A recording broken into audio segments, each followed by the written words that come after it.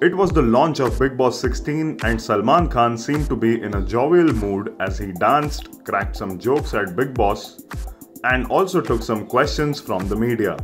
Salman reacted to the rumors of him charging rupees 1000 crore for hosting the 16th season of the reality show and rubbished it, saying if he's ever paid such huge money, he would stop working if he gets that amount as a fee.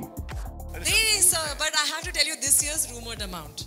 It is thousand crores, okay? अगर मुझे ये मिल जाए ना हाँ तो मैं life में नहीं काम करूँ लाइफ में नहीं काम करूँ लेकिन एक दिन ऐसा आएगा जिस दिन मिलेगा।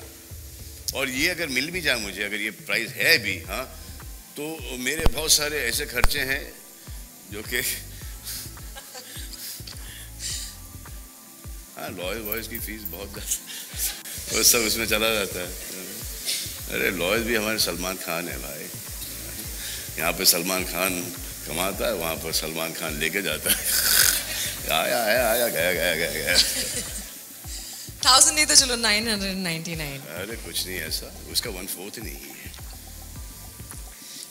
ये होता है ना ये ये, ये जो बड़ा चढ़ा के जो आप लोग जो फिगर्स निकालते हैं और फैंस निकालते हैं कि हज़ार करोड़ हज़ार करोड़ भाई ये इनकम टैक्स और ईडी भी नोटिस करता है। और वो आते हैं और फिर उनको पता चलता हकीकत क्या है During the launch event, Salman Khan announced Tajikistan based rapper and singer Abdu Rozik as the first contestant of Bigg Boss 16. For more news and updates, stay tuned to E Times.